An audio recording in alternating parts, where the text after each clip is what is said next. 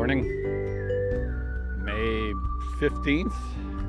I think we are day eight, day nine. Not even sure anymore. Excuse me if I'm wrong. Well, we had a tremendous thunderstorm. And I'm just looking up, and there's more to come. So I got a little break, so I'm gonna make a run for the city here. Um, going through the uh, city of Hamilton now. Hopefully, I'll be able to pick up food, resupply a little bit along the way. There was a dry spot, so I managed to stay fairly dry. Uh, set of stairs they have for getting up and down the escarpment. There's a Bruce. And there's Hamilton. People call it the hammer. Over there in the distance is, I'll probably get these wrong, but probably Dofasco used to be called. Stelco.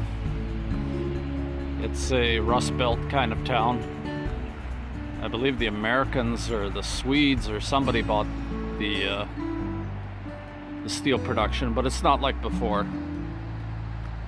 But uh, still, they're they're doing okay. It's also a port town. I won't talk for too long. This uh, this phone I have isn't waterproof, but uh, yeah, I have to get around this beast later.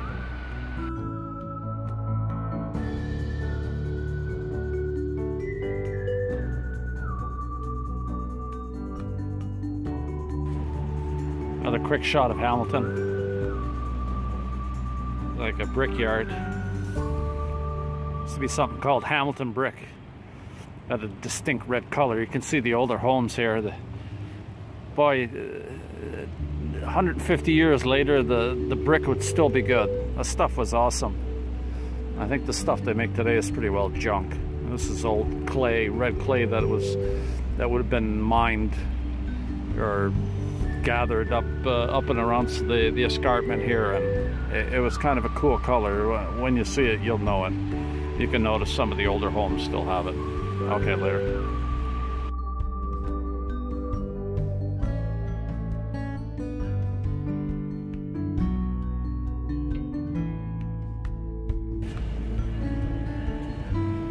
Just walking along a repurposed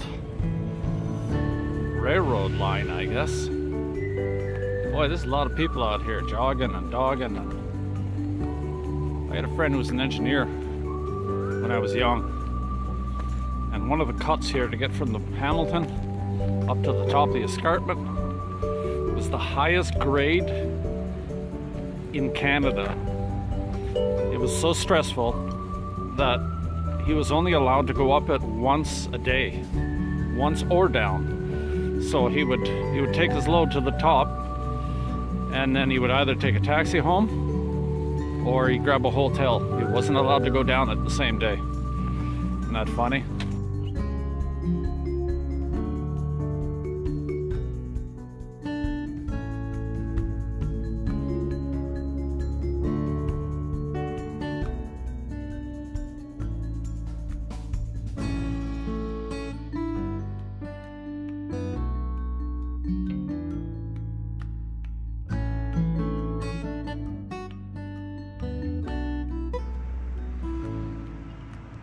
Finally, somebody slower than me.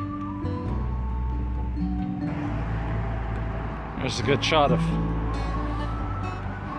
Hamilton, downtown Hamilton. Oh, there's a vulture right there. There's the port. Still a lot of ship traffic. I actually live right at the bottom of that bridge over there. But we're not going there yet. Gotta make my way along the escarpment. All the way there. All the way there. And then I'll probably jump off and go home for a while. But we'll see how far we get. Anyways, I'll see where this leads to me. This is definitely where the trail's going, so I better crack on.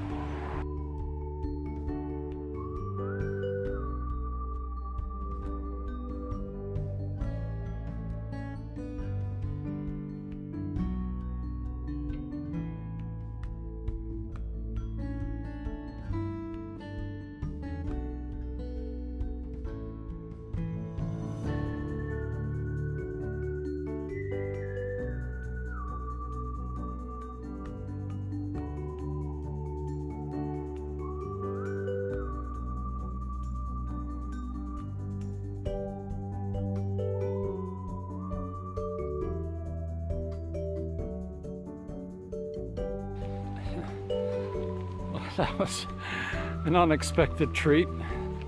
There was a golf course and they had a clubhouse and they had washrooms.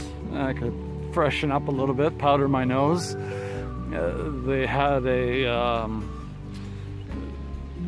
I don't know what you would call a snack bar, I guess. So uh, they had like a bowl of fresh fruit. The guy put in a takeaway cup for me and I grabbed uh, an egg salad sandwich for tonight, a big old bottle of Fresca or something or Mountain Dew. And then they had uh, a place with uh, good water outside so I filled up my uh, my bladder. So wow, that was an afternoon treat. I didn't even want to mention it in case my daughter's watching, but they, they were serving big old pitchers of beer too. But uh, I have to stay to my discipline. Okay, later.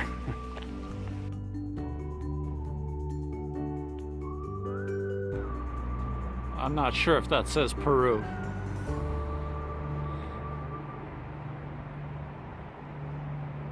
But the Inca workmanship it's all gone to hell, let me tell you. His favorite chair.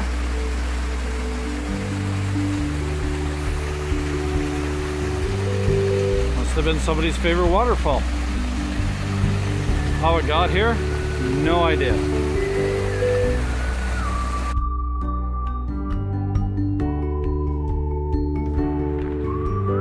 Last time I had a highway crossing there was a cold wind blowing on my private parts, let me tell you. This is completely different. Okay, let's see how this goes.